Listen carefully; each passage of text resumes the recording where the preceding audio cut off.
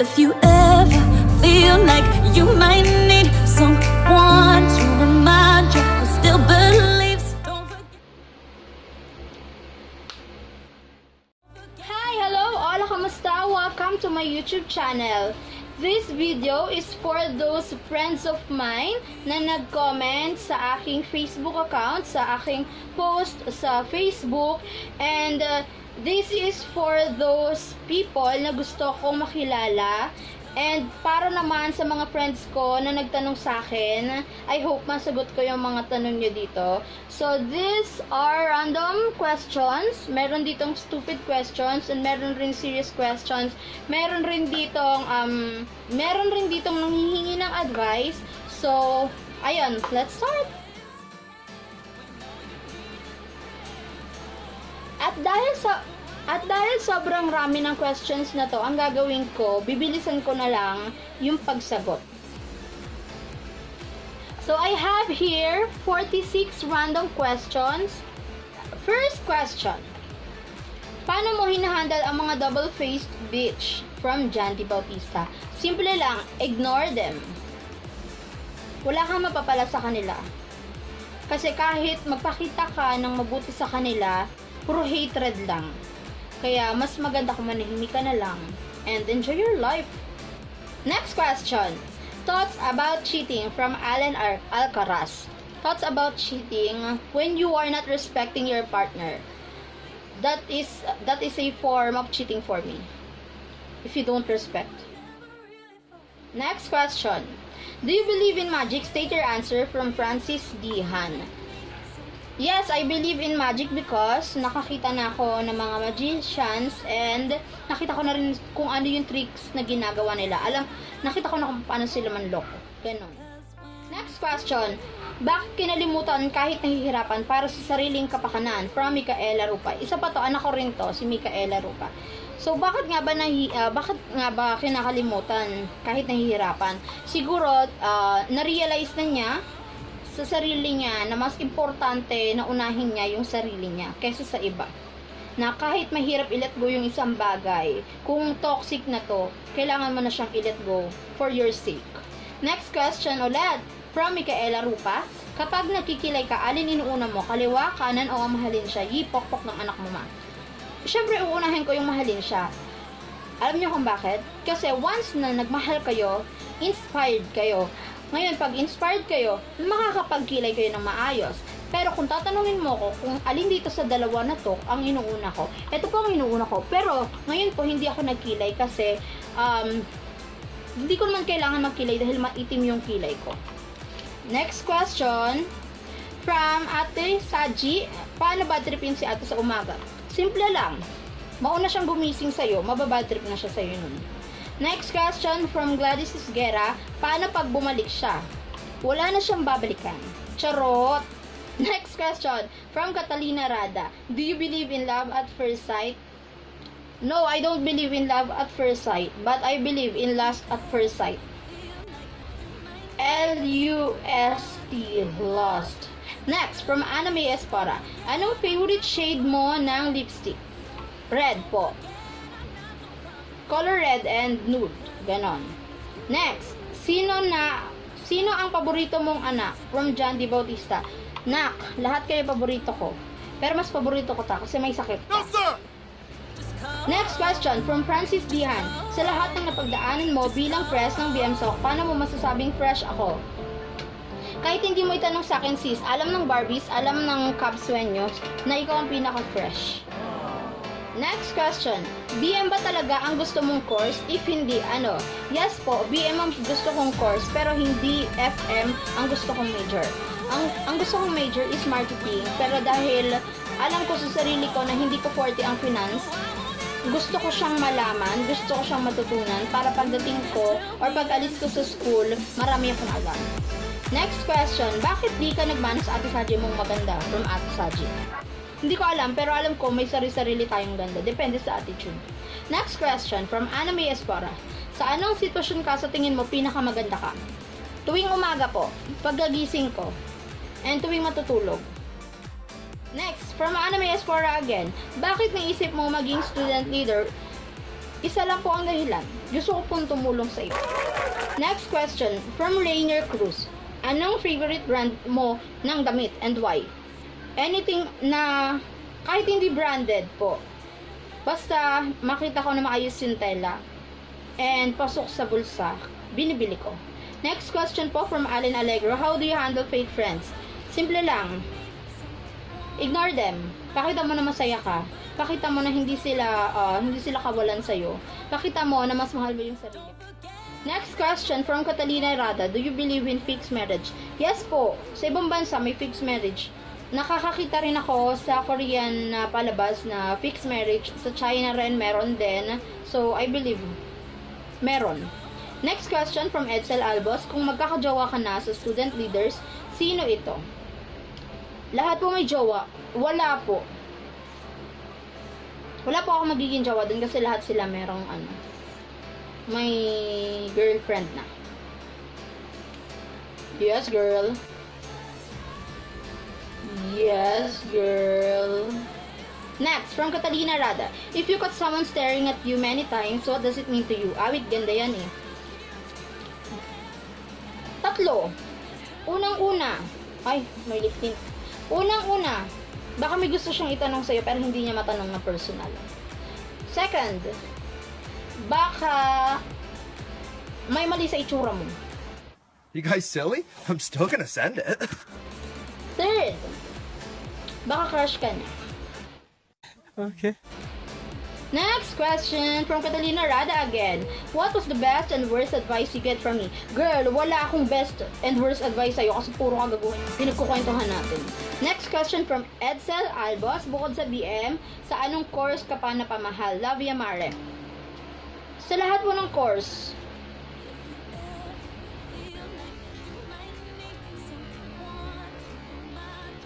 alam mo na yan, girl. Guys silly? I'm still gonna send it. Next question from J.M. Berdera. Ano yung pinaka di mo malilimutan experience at challenge as student leader? Yun po yung time na ano ba? Yun yung time na pinupush ko yung bloodletting. Yun yung pinaka best experience for me because I proved to myself na worth it yung ginawa ko and at the same time nakatulong po ako sa marami. And marami po ako mga naririnig sa mga professors, sa mga students na maganda po talaga yung layunin ng bloodletting. Next is from Daylight Albas, paano mo na-sense na vibes tayo? Anong unang pumapasok sa isip mo pagdating sa taong di mo pakilala? Actually, girl, first time na nakikita, nakita kita, hindi ko agad nasabi na magugustuhan kita.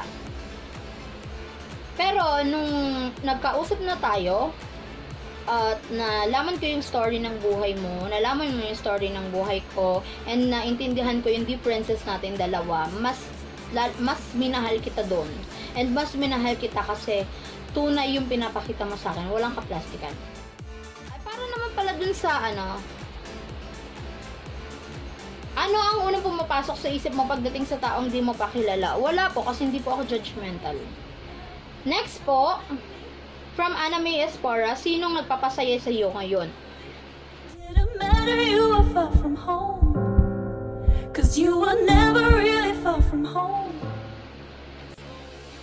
Wala po. Hindi po lalaki. Hindi po...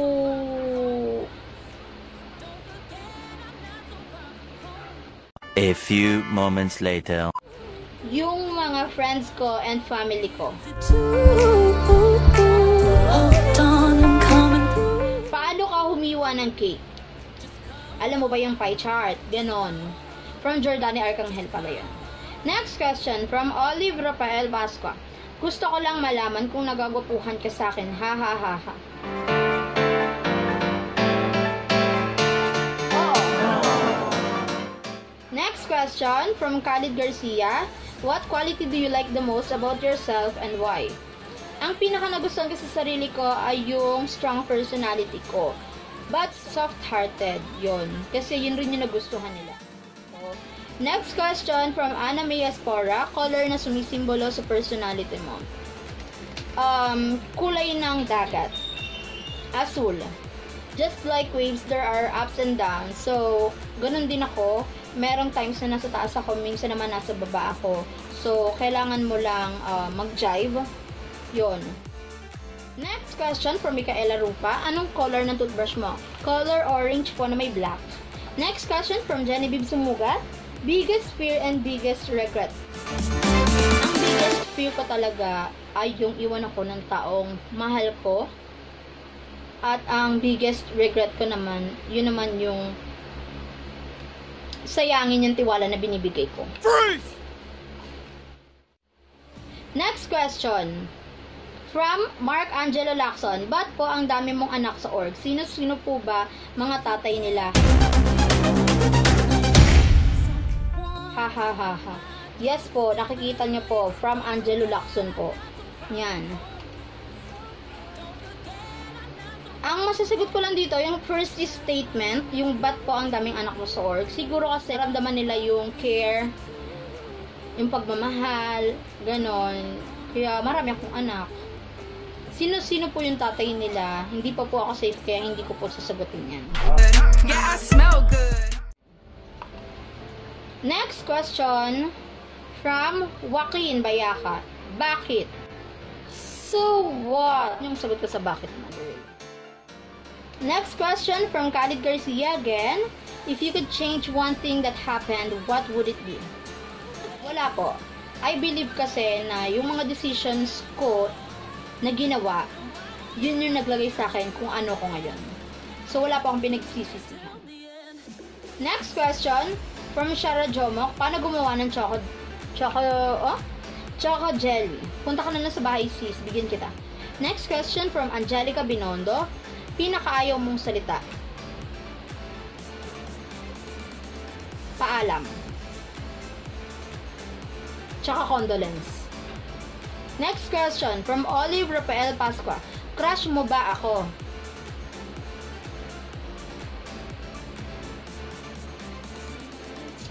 Hindi po. Next question from Micaela Rupa. Anong sikreto ng pasta mo ma? Bakit ang daming nasasarapan? Nak, isi-share ko to sa'yo pag nakita na tayo. Next question. From Francis Dihan, should same-sex marriage legalized here in the Philippines? I'm sorry to tell you this, but unfortunately, ayokong mag-comment about sa LGBT kasi I respect LGBT and also I respect man and woman. Next question, not question, pero any advice on being a president ng isang org? From Ian Abellanosa. Actually, to si Ian Abellanosa, alam ko, siya na yung papalit na president sa CSC, yon former, alam ko lang ha, former PRO to, then magiging appointed president siya.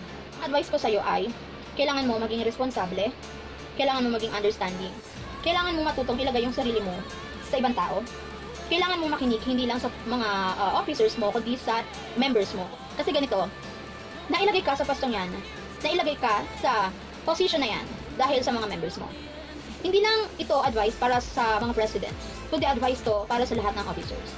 Kailangan mong isipin na hindi porket nandyan ka na sa position na yan, is hindi mo napapansinin yung mga members mo.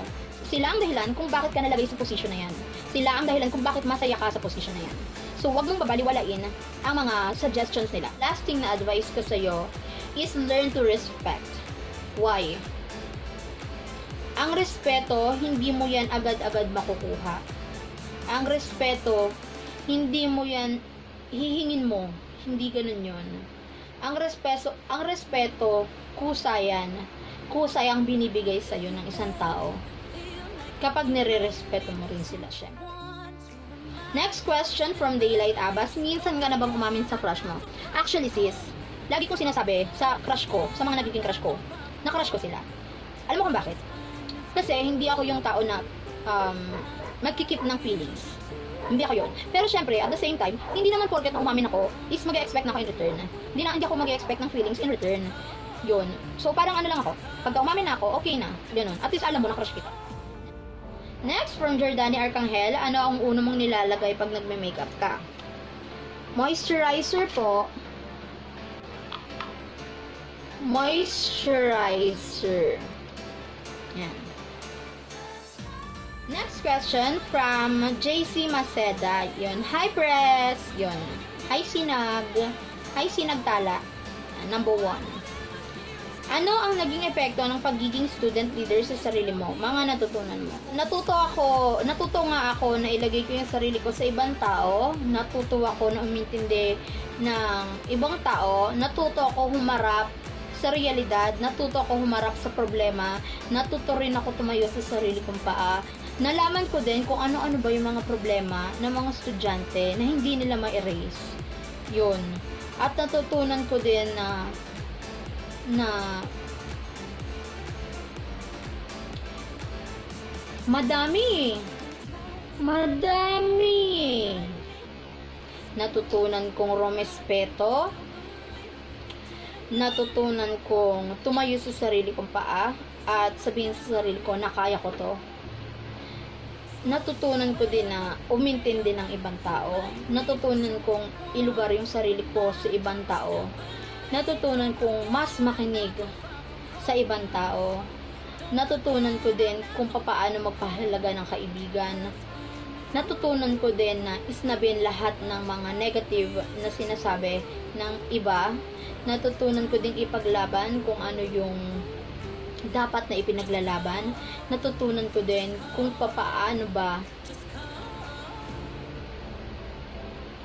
natutunan ko din na kahit anong gawin mo, kahit anong pabor ang gawin mo sa iba, huwag kang mag-e-expect ng return. Kasi, kasi naniniwala ako na lahat ng ginagawa ko, gusto ko. Yun, yun yung mga tu- natutunan ko. At na, ang naging epekto sa akin ng, ng pagiging student leader ko ay naging strong ako. Naging strong, naging strong ang personality ko. Na dati ako sensitive ako na ayoko na, na simpleng ganito lang, nasasaktan na ako. Pero ngayon, okay lang, wala na akong pakialam. Umalis ka, go. Next po, from Micaela Rupa. Pag nagluluto ka ng noodles, yung powder muna nilalagay mo o yung noodles? na uunahin mo muna yung noodles kasi pag nilagay mo yung powder bago yung noodles, hindi mo malalaman kung yung tubig ba na nilagay mo para sa noodles mo ay sapat para dun sa powder mo. So, lagay mo muna yung noodles. Next po, Jordani Arcangel. From Jordani Arcangel, paano mo nasasabing luto na ang pasta ng spag mom? Magpakulo ka, lagyan mo ng mantika, at pagka pinusok mo at malambot na, luto na yun. Next po, from Anami Espora, eyebrows or lips?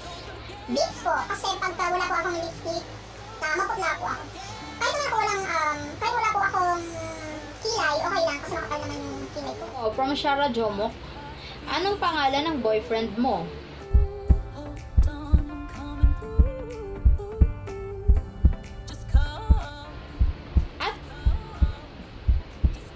At bakit ayaw mo siyang ipakilala sa amin? Bingot ba siya? May putok, mabaho hininga, walang mata? Seryosong tanong yan. Sis, alam ko maganda ako. Charot. Sis, wala akong boyfriend. Yun lang. Hindi ko pa po priority mag-boyfriend. Aral mo. Magtatrabaho mo. Hindi ko po kasi yan priority. Okay. Next question from JM Berdera. Since hindi tayo nakapagpaalam sa isa't isa ng formal, ano ang gusto mong sabihin sa akin bago ka lumisan kasabay ng iba? Ang gusto ko sabihin sa'yo, keep it up. Kasi you did great. You did absolutely great. Great. Mm, at saka, i-share mo yung knowledge na meron ka. Yun. Arkanghel. Next, from Jordani Arkanghel, first word nung baby ka pa niya. Miss. Nagsimula sa Miss. Charot. Mm, issue. Next, from Raxel Jake De Leon. Hi! Hi, sis! Yan. Any regrets from any decision that you made? Actually, wala. Kasi, last thing na nag-decide ako, eto na ako. Eto na yung resulta. Wala na akong pakialam sa sasabihin ng iba. Yun lang. Clue lang yun. Wala na akong pakialam sa sasabihin ng iba. Next po, from Bendic Bautista, first impression mo sa close, kilala mo na ngayon na hindi dati. Um, wala po. Wala po ang pakialam. From Rainier Cruz, anong comfort food mo? Anything na matamis. Anything na matamis? Yes po. Next, from Edsel Albos, kailan tayo magbaband? Kailan ba tayo magbaband, sis? Soon. So soon. Next, from JM Berdera, bakit di ka crush ng crush mo? Kasi po may jowa siya.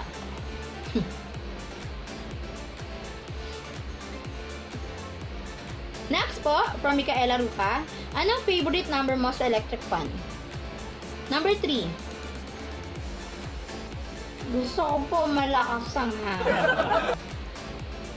Next po, from Daylight Abbas, when it comes to friends, may fav- favorite ka ba? Yes, of course. Lahat naman ng tao may favorite. May favorite. Kaya nga may best friends eh, di ba? Kaya, kaya nga may best friend, di ba? Ibig sabihin, siya yung pinaka-best sa mga friends mo. So, nanini so ako, sa sarili ko, meron akong favorite friends. And isa ka na doon. Next, from Catalina Rada, what is your definition of cheating? Cheating, when you don't respect your partner, that is a form of cheating for me. Next question, from Raxel De- Jake De Leon, what decision did you make that changed your life? Oy. Um, yung nagdesisyon ako na unahin muna yung sarili ko. Kaya look at me now. I'm stronger, I'm bolder. Mas masaya ako ngayon. Mas naipapakita ko yung sarili ko. Hmm. Next question. From Daylight Abbas. Bakit love mo ako? Sis, you know why? Kasi, mm, hindi ka na, hindi ka nagkukunwari sa akin. Pinapakita mo talaga kung ano yung tunay mong ugali. And meron tayong similarities. And of course, ah, accepted ko ang flaws mo. And accepted ko ang differences natin dalawa. Dalawa. Kaya yun. Kaya kita love. Next, from Rainier Cruz, anong go-to footwear mo? Mm, doll shoes po. Next question. From Kyla Villacorte. Bakit po nagmana sa'yo si Eds? Oo nga eh. Bakit nga ba? Siguro kasi ina-attitudean ko siya nung una. Kaya nung huli, na-attitudean na na rin ako. ba? Karma lang, sis. Digital, ganun. Uh, last two na po. Last two. Sino kaya tong pinakahuli kong mabubunot? Oops. Next. From Daylight Abbas, paano mo hinahandle ang negatives? Siyempre, una, masasaktan ka. Pero, kapag ka palagi kang nasasaktan, mas natututo ka. Learn from your mistakes. Kung nagkasala ka man dahil ka nasasaktan, learn from it. Yun. And after noon, after mong i-release yung stress mo, yung negative negativity sa katawan mo, enjoy mo lang ulit yung buhay mo. Ganun lang. Oy, last is from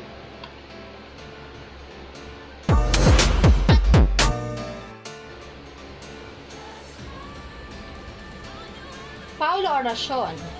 After mo graduate, what will be the first thing you do? Actually, I don't have plan pa sa ngayon kasi in-enjoy ko muna. And dahil sa COVID-19, I, I don't think makakahanap agad ako ng trabaho. And ayun na nga, wala nang laman. So, thank you so much for asking questions. Kahit na yung iba stupid pero thank you. Much appreciated po kasi nag, naglaan kayo sa akin ng oras ninyo. So if you like this video just click the notification bell sa baba para updated ka sa aking future videos and subscribe to my channel. And if you enjoy this video kindly um, click the like button And comment sa baba kung ano pa yung mga gusto ninyong gawin ko for my future videos. So, ayun lang. God bless. Bye!